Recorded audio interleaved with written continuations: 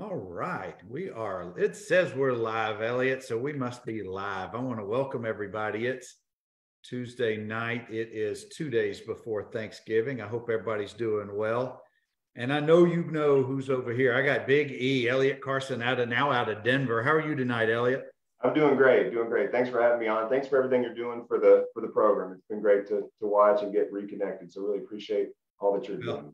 I appreciate that. And I was glad that you and I got to connect in Hawaii. It's such a memorable week and, and game. And we had such a fun time in the stands watching our our guys put up what was it 63 to 10 yeah. and and it's been an up and down season we'll get down we'll get to it later on but we're going to tell elliott's story tonight and elliott as i told you when folks start rolling in and they're already rolling in I will.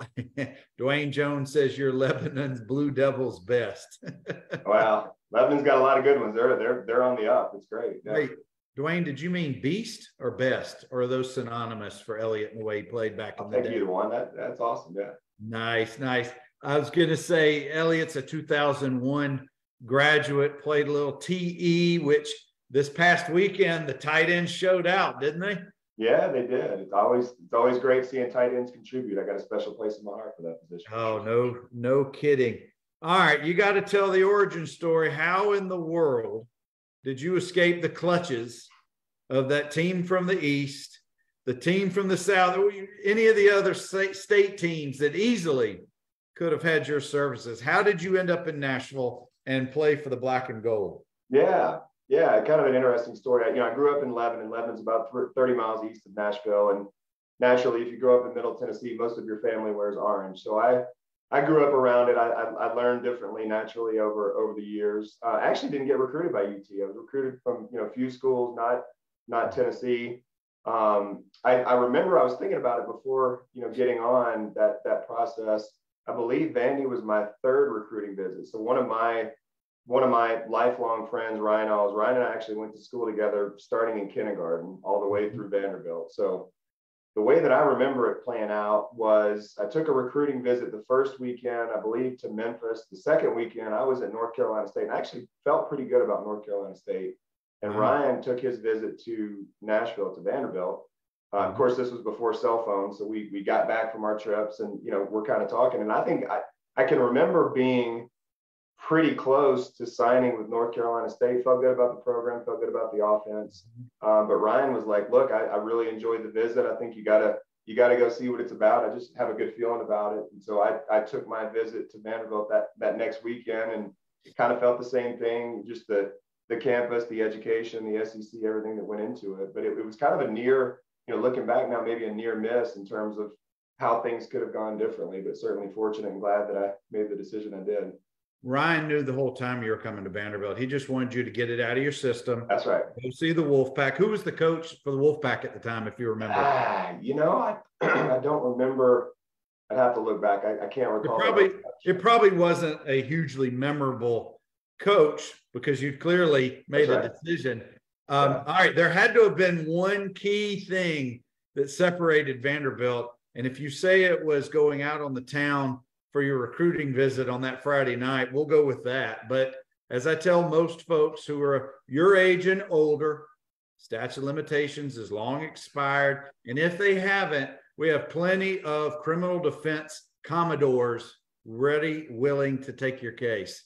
I love it. I love the protection. No, you know, I, there, there are probably stories for another day, but I, I think it's just, I, you know, honestly, I, I think about what we have going now, there, there's really nothing going against it. I mean, that you know, living in Nashville, certainly a great city. Nashville's blown up since you know since I was there in the in the late '90s. But to live in Nashville, I mean, you know, some of the other SEC schools are in small towns. Certainly don't have the the off-campus life of a Nashville. Playing in the SEC against the best, uh, you know, it was kind of nice. I, I don't know that I really considered it as I got closer to college, but it was kind of nice to be away from home but not way away from home. So you kind of had that right. benefit. You know, my my mom and, and dad parents could drive to the games, but you were enough away where you had your space. And so it, it, I think the stars just kind of aligned. Certainly, maybe there were things on the recruiting visit that were, you know, unique, but I think it just all it all made sense. Did you and Tyler ever have that knock on the door and it was unannounced parental visit? Hey, we just wanted to come say take you to lunch. We didn't tell you we were coming. You ever have that? I, you know, my mom, my mom was always really good about about letting me know. I didn't. I don't remember having any any pop in visits. Certainly possible, but I think they were good about you can't. You know, you need to have your college life, and and they were probably, you know, in some ways, kind of glad to have me out of the house. I, I'm sure going through high school, I was eating them out of house and home, so they were glad for for the groceries to be on somebody else's dime, right? Look, my family was 400 miles away, and I got that phone call. Hey, we're in Franklin. Can you meet us at the cooker in an hour? Oh yeah. Really? Yeah. And it wasn't a football weekend.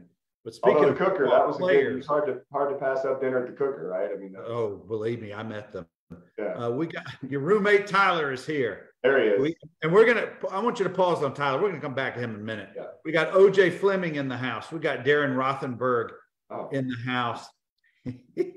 Tyler, Dwayne wants to know who'd you make mad to have Tyler for three years? All right, let's just get into Tyler and all that yeah. that silliness. I know you guys room forever and have way more show. I ought to have you both on at the same time because it would be the Elliott and Tyler show. I know there's a ton of great stories in there. Yeah, I, I mean, it, it, you know, certainly want to get to, the Tyler. Want to say hi to OJ. Had a ton of respect. OJ was a tight end ahead of me. Really looked up to him much respect for OJ. Roth, we played against each other in high school. It didn't go well for us, but have known Roth for a lot of years. Actually got to spend a little time. I, I lived in that city to the east for a couple years where Roth lives, and and uh, you know we got to hang out a little bit. But yeah, Tyler and I we we roommate we were roommates for three years. He I think he had the story backward on Facebook. He said I was chasing him. I think he was chasing me, but you know, we uh, we had some some of those. Uh, you remember towers certainly for for a lot of folks that have been around campus. Uh, lived in Mayfield for a year, so Tyler and I definitely uh, definitely had some some good times on campus. You know, I was sharing Bernard with you a little bit before the call. Had a really scary situation, kind of one of those life changing moments. Tyler and I and, a teammate Chris Cook in a in a car accident that we fortunately made it out of. But a lot of stories with Tyler that uh, we certainly could share on air and not probably some that we shouldn't share on air, right? Yeah, just keeping in mind this will eventually be a public video on YouTube. So we'll That's just right. keep it at that. I want to right. welcome Aaron Smith. Hey, Aaron, good to see you, bud. He's in the house tonight. Elliott, you go from a relatively small Tennessee town where you played big time football, but as we all do, that transition to Division One, SEC, and you're playing a skilled position that's no joke. That's that's not an easy transition, even for the best of athletes, even for the smartest of those in in school. How was your transition? And and here's my my my true question at the end. How long did it take for you once you got to campus before you really uh-huh. felt comfortable in all phases of the collegiate life, academically, socially, and athletically? Yeah, you mentioned skill position. I would argue, and maybe OJ would agree, the most skill position, right? Tight ends, we're, we're uh, jack of all trades. But no, I, you know, I came in. I can remember coming in out of high school. I was, you know, a, a tall, kind of rangy kid. I probably, you, you, can remember in high school, the the roster, you know, your your height and weight was kind of what you wanted it to be. So I want to be this tall and weigh this much. And I think I, it showed me at 235 that I was no nowhere near 235. So, you know, the first challenge was putting on some weight, and you know, you talked about getting comfortable. I think the first time I got really uncomfortable was, you know, a 200 and maybe I was 220 pound tight end. They kind of had, you know, the Vandy was good about using the tight end really through the time that I was there. H back, a lot of move, a lot of motion.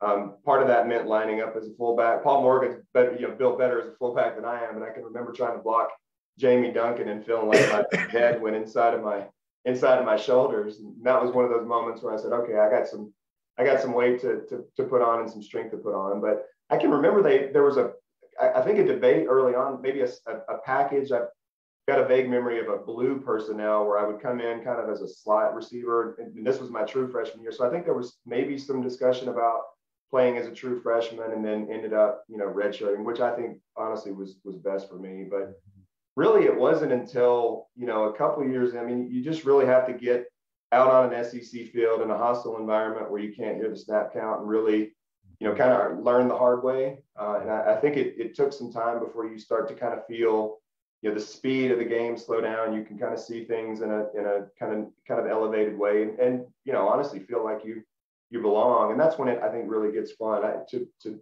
think when that actually happened, I don't know, but I can remember that first year feeling like, all right, I got a lot of I got a lot of room for growth here. Well, you know, from an athletic standpoint, your game elevates regardless of your position when you don't have to think you just yeah. have to you do that's and that's right. just that's muscle memory that's visual recognition and it does again it doesn't matter your position but i know that you you practiced your freshman year to the point where you thought maybe you were going to play but you end up getting redshirted and for most of us that's that's a blessing even though sometimes we fight that we we're yeah. good enough to play yeah. but you know we're just the 18 year old knuckleheads wanting to show out yeah coaches hopefully know a little bit better. But off the field, from a social standpoint, from an academic standpoint, when did you find your footing in those areas, or did it did it ever all come together like within a certain close period of time, or did you just find it? I'm not trying to get too philosophical yeah. here, but it just it's a weird thing to go from high school and to fit in in the yeah. Vanderbilt system. It, it's a good question. I, am not going to broadcast my GPA my first semester, but it was less than desirable, I would say. Uh, yeah, I mean, it.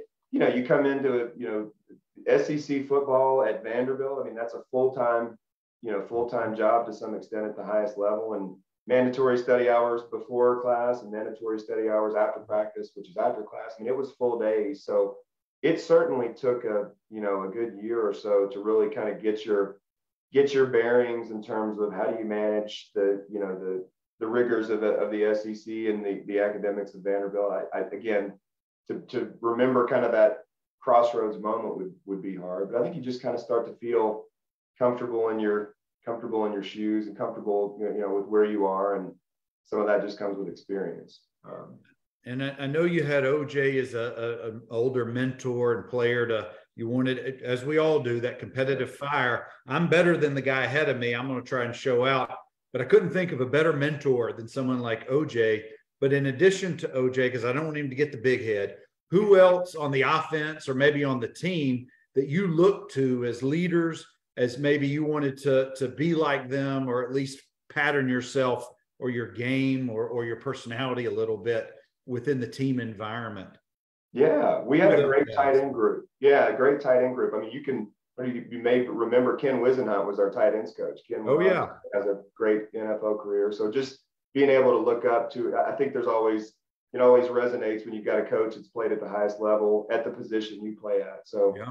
really looked up to Ken. I mean, our tight end group, you, you know, you go back, Jason Tomachek was a guy that, you know, had a great career at Vanderbilt. Um, you know, Freddie Baker, certainly OJ, Marcus Williams. Paul was the the squatty body, kind of the change of pace thumper in the in the tight end room. But all those guys, I think, really, you know, I, I can look to and, and, and think about learning different aspects of the game from and and uh, and, and looked up to. I mean, you know, early on at, in my career at Vanderbilt, I, I can remember feeling kind of a deep sense of obligation to really try to help lift the offense. We had some great defenses. I mean, you can remember, you know, those those years of you know linebacker you to some extent, and so we were we were trying to do our part, and I would say in, in, many cases probably didn't hold our weight. But I can remember a lot of those, you know, defensive players. I mean, Corey Chavis is a guy that I always thought very highly of. Um, you know, Eric Vance, a lot of the linebacker group. I mean, Duncan, Anthony Jordan, Carlton Hall. There's, a lot of guys that. Elliott, I was going to say you're practicing against Sunday players. Yeah. For almost your whole time at Vanderbilt, yeah. and on the offense, particularly in in your position, you're a pinball. You're you're getting you're getting a real, a real OJ, too late. Haha, that's a dollar. He's so funny. But you're getting a real education in addition to bumps and bruises and, and yeah. getting knocked on your butt every so often from those guys. But I, I can see that because they had, you're right, Vanderbilt in those in those 90s had some awesome oh. linebackers and defensive players. They sure did. Well, you, you got the bumps and bruises, but you also went into a game confident that you're not going to really play anybody much better than who you see in That's practice. right. That's exactly right. Now, were you recruited by Dowhower or his or the staff before Dowhower? Yeah, so with he, his staff is actually I can't you know, again, it's funny how stories pop in your head. So Woody at the time was the defensive coordinator. Woody Widenhofer. Right. Dowhower's the head coach, and I have a memory of Woody come into Lebanon High School, the old Lebanon High School, um, to meet with Ryan and I. And, you know, of course, Woody's got, you know, the Super Bowl rings from the Steelers. And he, of course, you know, letting us see the, Excuse the ring. me, fellas. How are you doing tonight? yeah, that's right. Well, I can remember dropping one and having this moment of like, if there's you know diamonds laying on the floor, I just got my my scholarship revoked. Right, right, right. I think I dropped the ring, but uh, yeah. But with then the transition after Dowhower to, to Woody the next year, for you, was there a big change in what your responsibilities or philosophy on offense? Did it change that much with Woody taking over the helm? Yeah, I think for me personally, I was more of an inline guy under, you know, Dowhower and, and that offense. When Woody took over, a guy named Steve Crosby was the offensive coordinator. And Steve, you know, had a, I think an offense that was very tight end friendly. Again, a lot of, lot of, you know, certainly a lot of inline, but lined up, lined up as an H, did a lot of motion. I think he he found some, you know, creative ways to get the tight end open. So I was fortunate, I think, just being more of a receiving type tight end to, right. offense like that. So it was a, a, transition, but it was one that I embraced and felt like was good for for my uh, skill set. All right, it's easy for me to ask you some of your favorite memories about practice or the locker room, and we'll get to that. I want to know what was it about playing college football that really kind of drove you to the edge of, hey, why am I doing this? I feel like I'm hitting my head against the wall every time. And and I know that may be kind of a personal question, but it's easy for us to talk about all the good memories and all the stuff. But that's not what the college football experience is about. It's not the Instagram world. Some yeah. of it sucks. Some yeah. of it is not fun. Yeah. So to the extent that you want to share anything, and I'm not asking you to tell us about a fight or anything, but whatever that may come to mind that's like, this was a lesson that I had to learn from, whether I liked it or not. And I got past it. That yeah. kind of what I'm asking about. Yeah, I think any football player that tells you they like two a days is lying to you. You know, you, think about the the dog days. They got a screw loose. Yeah. Or they got a screw loose. Yeah, there, you know, maybe a few, but maybe especially Nashville, hot, humid summers. I mean, that was, and it, you know, it's by default, it's intended to, you know, bring you to your breaking point, get you through, build camaraderie. So you look back and you know what it was, but that was miserable. I, I can remember, I think my true freshman year missing class and having to run the stadium steps before practice. So you mm-hmm. run, you you can kind of see the image behind you. You go up and down every every aisle. The the problem with Vandy Stadium in, in in a unique way is it's it's big, but it's not big enough where it's got multi layers, multi tiers. So you got to go all the way to the top and all the way down. So I can remember having to run that whole thing and then practice afterward, thinking, "Gosh, what what in the world am I doing?" But you know, those are the moments that kind of build the character and you know get you past the the hard stuff that you're going to deal with.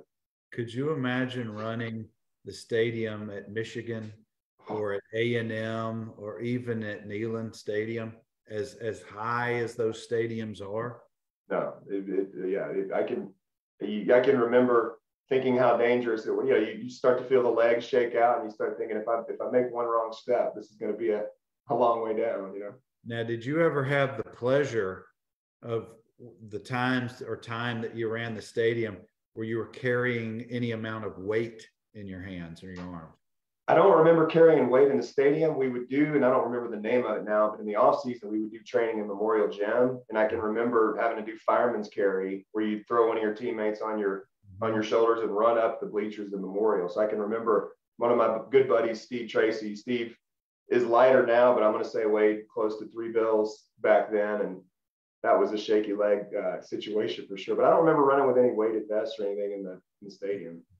I remember one of our summer workouts where we were in the stadium and we were running it was the equivalent it's not a 440 because around that field is not 440 no. it's around the field but mm-hmm. having to hold 25 pound weights above your your head and it was a relay. Oh, and you know you do that two or three times even the strongest of guys that sucks. Yeah. That, that is just not fun yeah. Um, well elliott let's let's get off the field for a few minutes. Yeah. Where did you and, and tyler and the boys where did y'all like to hang out in town? I always ask this because the establishments always change over the decades. Yeah. Like it, I think way before you got there, we had Banditos, which was a bar directly across the street from Towers. And in the parking lot, it's now a parking lot, was a sand pit volleyball right adjacent to West End Avenue. So you can imagine what would happen over there. Yeah. But it was a very, let's put it this way, a very athletes friendly venue. Yeah. But where where did you guys hang out? Where would y'all go? Yeah, it's funny when you talk to people from Nashville now, and I've got friends that will go to visit and they ask me where to go, and I typically say I don't know because I'll tell you a place that's probably closed. But you know, back in the late '90s, it was Broadway, Second Avenue, and then you had a little bit of the campus. There weren't, you know, the a lot of the boroughs now, the Gulch, Sobro. That was just kind of industrial. Not, not the circus that it's become. Yeah, but I can remember, you know, certainly on campus or the near campus area. I mean, Satco, which is still there, was a great spot. Um, and then you get over on the, you know, into the downtown area. Buffalo Billiards was a great place. Uh, a place called Have a Nice Day Cafe on Second Avenue. Um, Banana, I remember Banana Joe's. I think it was Banana Joe's. Seems like they had like, you know, at least I heard nickel long neck beers on Tuesday night. I mean, some, you know, some crazy right. deal. Um, and then the, you know, the Lonnie's right off Printer's Alley. I mean, that that's always been a, a popular spot. So those are some that, that come to mind. Nice. Now we had the cooker right on campus. Was was the cooker still the cooker your year? Yeah, yeah, absolutely. Oh man, many many meals were had there. That's for the sure. cooker, and, and for us, we were fortunate. Ryan Alt's parents would come out a lot and and uh, you know take us to to lunch after the games, and Houston's was a good spot for that. Yeah, that was yeah. always a great great meal. And if it was late at night, you needed some grease, Rotiers yeah. Rest in peace. Rotiers is that was placed for decades across. I heard it. Is it gone? I heard it's. It is completely torn down. Wow, yep. that's unbelievable. Yeah, there's a lot of those old establishments are coming down for the sake of progress. We took our uh, we had friends in town, took them to Elliston Place Soda Shop, that which now is a newer building, but I was glad that was still there. That's still great. Yeah. Great no, that's that's a fun place. But guys, if you're just tuning in and you don't recognize Big E, I got Elliott Carson, class of 01 with me tonight. He's in Denver. And I failed to ask you, tell us what you do in Denver. Tell us a little bit about your beautiful family and your your profession these days.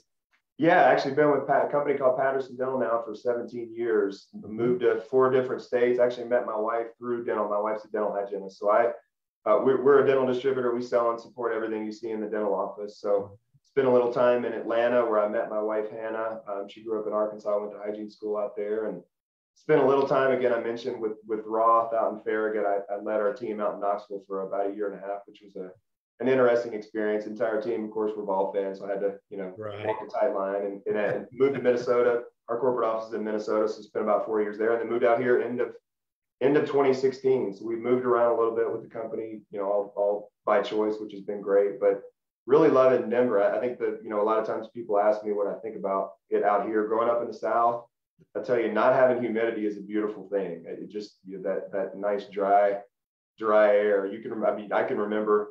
You probably can't do that Hawaii game. You sit out in the, the sun, and you know that humidity just just cooks you. So the the low humidity's been good out here. We enjoy it. Yeah. Yeah, but you know, one thing I really just can't wrap my head around. Did you try the spam rice seaweed wrap?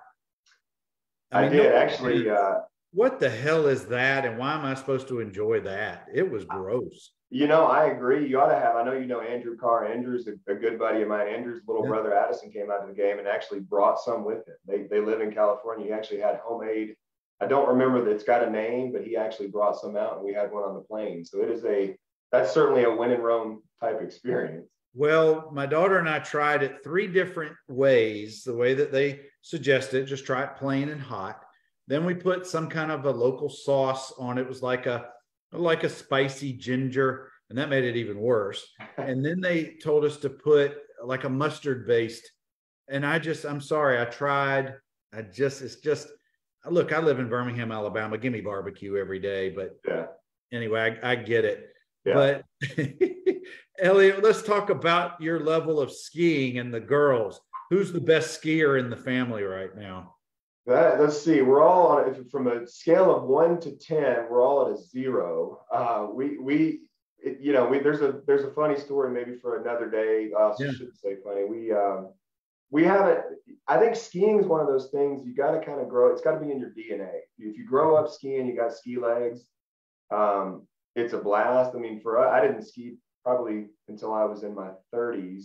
Mm-hmm. Um, and when you really don't know it that well, it, not, I was 90% of skiing, you know, did I buckle this? Did I strap that? Right, right. It's it's very foreign, and and we've been trying to get the girls out. I mean, to live here, we've got two daughters now that are 13 and nine. You know, kind of feel like to live here and not ski is a waste, but had a little bit of a uh, you know, I would say traumatic experience on the ski lift with the girls last year, and now we've been struggling to to get them back out. Um, so skiing for us, I, we're more of a a summer mountains family. We like to go up in the you know get a place in the summer and just enjoy the crisp weather. i have gotten to where I love to mountain bike, so we we end up doing that more than skiing. But we got to get them back out. We it's kind of the try to give them a life lesson about you know once you fall off the horse, get back on. So our last ski adventure was did not uh, did not go well. Well, I, I hope the future one does. But I echo your sentiment about summertime uh, out west. Yeah. There's the anyway. We could we could hold our a whole conversation just on those experiences in the summer. But we're going to get back to some Vanderbilt football. During the years that you were there and playing tight end, you went up against some many Sunday players on the opposing teams. Yeah. Do you remember who gave you the most fits? Do you remember who maybe you had a good game against and it maybe surprised you a little bit, or you just had his number that day? Yeah, you know, I think for me, just the maybe the the way that I played, body type, I, I always felt more comfortable with the the athletic, quick guys. I mean, guys that come to mind that I think I can remember playing well against Javon Kearse, um, John Abraham at South Carolina. Th- those guys were you know, freaks in terms of athleticism. Yeah. Um, but I felt like I always matched up well. The guys that always gave me fits were the the Shaun Ellis's. I can remember Shaun Ellis at UT. You know, Marcus Stroud was a I think a 300 pound defensive end at Georgia. Those big, strong kind of bull rush guys that yeah. they. There was a guy I was thinking about it before our, our call uh, at Ole Miss. You, you know, when you when you watch the draft, they always show a couple highlights of every player. The thing you don't want to be is the guy on the other guy's highlight and I can remember the guy, my senior year, guy from Ole Miss. I think he went the third, fourth round. I can't recall his name, but it was one of his two clips was him just completely destroying me on a pass rush. So I, I Look, I mom, I made the draft. That's right. Yeah, I'm here, but not for the right reason. some of those, the, the, really big, stout bull rush guys were, were challenging. But like I said, some of those, were, you know, the Leonard Little, I can remember playing against. Again, you know, Javon Kearse is just one of the most freakish athletes I've ever been around. But I, I can remember matching up relatively well with those guys. And all these guys are Sunday guys you're, you're naming, and yeah. it just it never ends. It never ends. All right, what was your best catch? What was your best run or play that really I don't know. It could have been an acrobatic catch, or you made a you may have made a block that sprung uh, I don't know who was the main, was it Zach or who was the main running back back then? Well, we had Jimmy, of course, played running back some. Uh, Jared McGrath, Rodney Williams, some of those guys were Lou Thomas. Yeah. Did you have any pancakes or just any any big memories where you were able to to make a big play or help in a big play that really come to mind? Yeah, you know, I, I can remember. It's funny. I, I can remember in uh, in film sessions, Todd Yoder and I having uh, you know kind of just fun side bets about, you know, we, we were guys that like to get outside and could, could, you know, chop block pretty well or cut pretty well. Um, some of those outside blocks. So I can remember, you know, having some good blocks that would, you know, would, would break one of our running backs loose. Um, I bet that's got to be a good feeling when you're either on the ground or on top of the guy you're blocking and you look up at the, the corner of your eye and all you see is is asses and elbows carrying the ball down the field. It's a yeah, especially when you know you when you know you made a block that sprung somebody. Now the alternative is when you know you missed a block that would have done it, and you have to you're getting ready for the film study that's going to come. Um, that's immediately what comes. You're walking back to the huddle, you know 24 hours from now I'm going to have to eat some dirt. And but you, you, hope you're in one of those blind spots where it didn't get caught in the wide angle, it didn't get caught. Right, right, right. Well, just wait, wait till they do the drone video oh. of games. You'll never be able to hide. But what about and and thank goodness with my position, I never had this. But what about that time when you're blocking and your running back ends up right in your back and just plows you, or you, you know, y'all all go down? I yeah. know you've had that before. Yeah, I had actually. I, I remember, I think a high ankle sprain before that was even a term, but I, I can remember in spring practice, and I don't recall the running back. I wouldn't out him anyway. But you know, you engage with a you know a, a defensive lineman and have somebody kind of hit you right in the back. And I remember that being that was one of the more difficult ankle injuries I ever had to get over. Fortunately, it was in the mm-hmm. spring, but you know, you, it's it's hard when you're kind of locked up with somebody and then someone else kind of hits you low. You're kind of in a in a defenseless position. Um, yeah. One, one funny story I just thought about, and I don't recall the name. There was a defensive lineman for Alabama. I just remember this because everybody gave me a hard time. We had a, I don't remember the name of the motion, but you start out in a slot, motion inside, and crack down. And I, I don't know if this is accurate, but I remember everybody giving me a hard time saying that the guy uh, was actually blind in the eye that we cracked down on. So we, you know, he didn't have any vision. So I can remember laying out a pretty big guy, but it could have been just completely by chance that he didn't see me. But I remember getting a hard time for I, I didn't call the play naturally, so it wasn't my fault. But hey, the alternative is he turns his head right in time and then flattens you. That's right. He sees you and outweighs you by 50 or 100 pounds. And then I can remember that that situation happening with others. Richard Seymour, I can remember getting me pretty good on a Hall of Famer now, but I can remember a we called it bang motion. So you kind of start inside just before the snap. Right. you right. know, trap an inside tackle that was probably a good 60 pounds heavier than you. So yeah, yeah unfortunately the the name just That's a bad description for what happened. Yeah. yeah. All right, take us into the towers, those Saturday night post basketball parties. You don't have yeah. to name names, but how fun were those? It was a blast. I mean, that was, you know, one of the things we were talking about before was just the, the memories. I mean, the, the, you know, it's no secret we didn't win as many games as, as we would have liked. We, we, but I, I, I remember the the camaraderie. I remember really, I remember going into every game. You know, I've got friends that ask me now, "Why did you really think you were going to beat you know, Peyton Manning and the Vols or whoever. I, you never go into a game thinking you're going to lose. Um, but you, you go into that competition, blood, sweat, tears, and just having, you know, a Saturday night with your buddies. I can remember those t- parties at Towers. Little known fact, my uh, DJ skills were widely known. Um, oh no, it's not a little known fact. We oh, all that, know, and that, that's where I was headed with this. Yeah, I mean, I, I was I was known to play classics like you know Ghetto Cowboy by Bone Thugs and Harmony. Um, you know, Bow Down by uh, I don't remember the Ice Cube. I, mean, I, all the classics, right? I, I could play those up.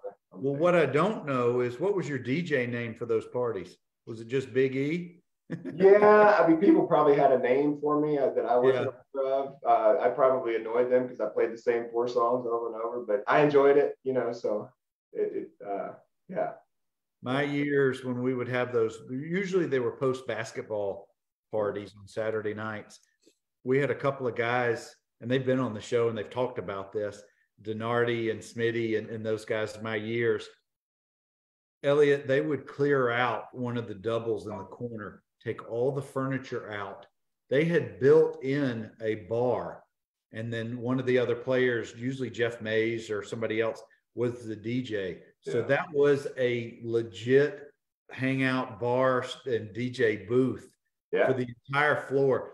And on a on a given night, a rough estimate of 200 to 250 people crammed all around the elevator and bathroom and that whatever that study room was yeah. crazy just yeah I, yeah i was going to say whatever the whatever the capacity was we definitely pushed it to the limit because if i remember right with towers you had four kind of four in the corners right yeah and yep. inevitably there would be a few few rooms of, of teammates but towers parties i don't know if you ever lived in i think it was called Mayfield. We lived in Mayfield one year. So there were 10, a little bit of a funny story. There were 10 uh, individual rooms. So it was nine of us on the team. And I, I guess it's the way it shook out, we ended up getting paired with a non player. Um, that, that, poor dude. That oh, poor he, dude. yeah. I think his name was Tom. I think he actually had a young family. If I remember right, he was married and had a child. And, and he, like, at Mayfield? At Mayfield. He would go in and out of the room through his window just not to have to deal with us knuckleheads. It was. A, it was oh, I I want him on this show because yeah. I bet that was a rough year for that. Yeah, guy. he probably. I, well, he, if I remember right, he didn't spend a lot of time there for obvious reasons. But yeah, it was nine of us, and and uh, I think it was Tom. Yeah. The nine choir boys and Tom. And that's right. That's right. Well, Elliott, we've got a few more minutes, and I, I really appreciate you taking us down your your path, but I want to talk about your post Vanderbilt football experiences. You had brushes in a couple of different leagues and went overseas. So when you finished up your eligibility, at what stage, either that fall or that spring, did it percolate? Did it start to come to fruition that, hey, there may be something here for me? So kind of take us through that experience, if you will. Yeah, you know, I think going going into my senior year, um, I think I, I, earned all SEC honors my junior year, and I, I, can remember some conversation just about maybe there's the potential uh, for that. Um, so I think going into my senior year, and then coming out of my senior year, I was fortunate to get invited to the combine, play playing at that time the the uh, the blue gray game, which they held on Christmas Day down in in uh, in Montgomery. Montgomery, that's right. Yeah. I went to many of those back in the day. Yeah, yeah. Um, so I, you know, I think just kind of coming out of that, I, I knew I had an opportunity. Certainly wasn't going to be a, a, high draft pick, but but felt like there was some potential, and ended up not getting drafted. Signed with the Cardinals, and really in Arizona, felt like I was in a, a pretty good spot there. Um, unfortunately, got injured, which you know, as an undrafted free agent, you get injured. That's that's kind of the the, the end of that the deal. usually ends it, doesn't it? Yeah. So I was fortunate there. I had, you know, Corey Chavous was was playing with the Cardinals then, so it was nice to have a you know, former teammate, kind of mentor. Um, so got injured, came back. I remember doing workouts for several teams. I could I, the the Saints, I think, the Packers, the Colts. You know, you go in, guys get injured during the season, they bring three or four guys in. Nothing ever really struck. And I think I'd done a workout with the Colts and was flying back from that. And my agent called and said that the Titans wanted to sign me and wanted to allocate me over to NFL Europe. So I think I signed with the Titans that January of the following year, 20 or 2002. And then at the time, NFL Europe was kind of a developmental league, so they allocate players. So you're on a technically on an NFL roster. You go play in the summer and then come back in camp and try to make the team. So went over and played in Scotland for a year, which was a great experience. And then I had a couple of couple of game, a couple preseason games with the Titans back when they had Frank Wycheck. Um, guy named Erron Kinney played at Florida and, and uh, got cut after the second game. And then you, you know you reach that point where like, all right, I can keep chasing it, or I, I, I can. Yeah. You just say, hey, I had the opportunity, time to time to move on. So yeah. Well, but that that year that you're that season you spent overseas in, in yeah. Scotland, did you have any time to travel or to take in the local culture, or were you guys pretty much set on just just playing and practicing and that kind of thing? You had time. I, I look back. I didn't take advantage of it. I was a 24. I, I mean, I didn't really even take any pictures. Of course, that was again before cell phones. But now right, you right. can remember. Oh, I don't need to take pictures. I'll remember it. But typically you would so that if I remember right, there were six teams and you play every team at home and away. So I think it was for Scotland, there was a team in Amsterdam, three in Germany, Barcelona. So you'd mm-hmm. fly in on a Friday, play Saturday, and typically stay Saturday night. So you'd be able to go out in country on a Saturday night um, before traveling back. And then on an off weekend, you know, we lived in Scotland if you wanted to take a train to to Ireland. So we we definitely got to see some things. Looking back now, as much as I like to travel, I would have done more, but but definitely have some good memories. But you know, that's uh, that's just once again, not that we've really touched on it much here, but it you know Vanderbilt and playing football that opened an opportunity, a new experience. Yeah. For you that you probably, if you just been a regular student or not gone to Vanderbilt, you might not have had that opportunity. So that was pretty cool that you got to do that at such a young age and play ball yeah.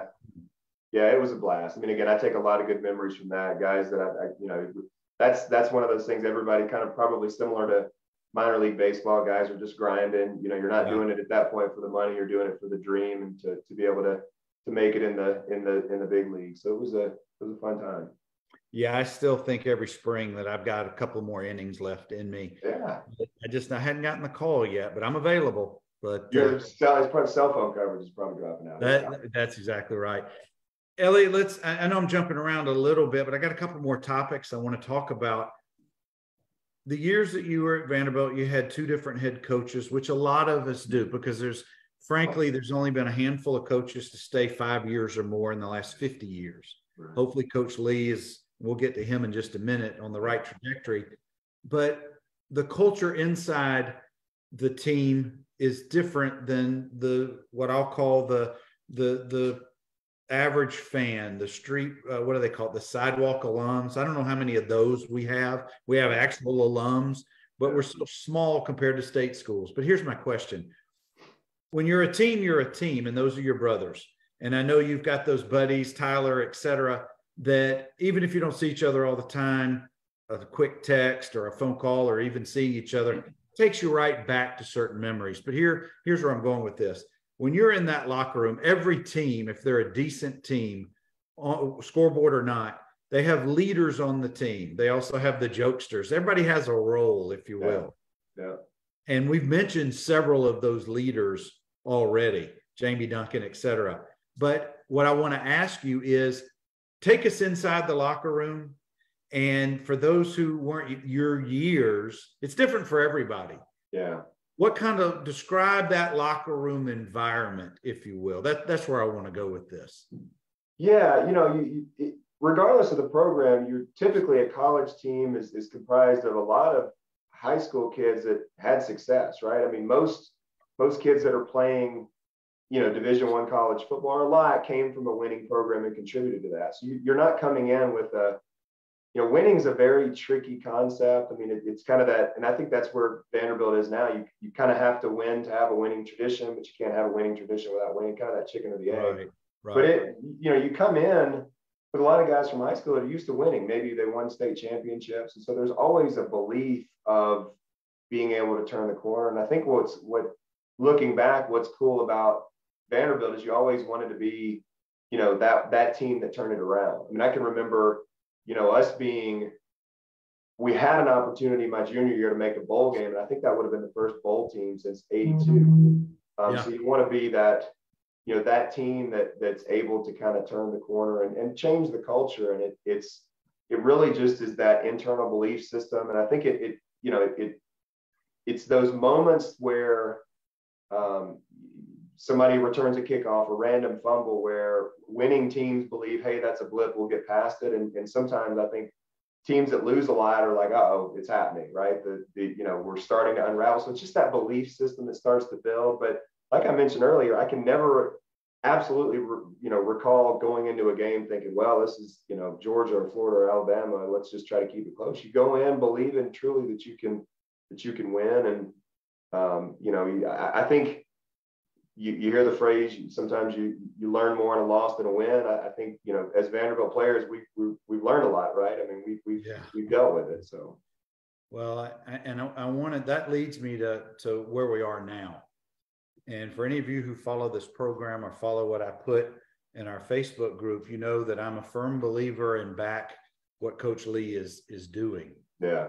I really believe he is changing the culture of inside the program in that locker room.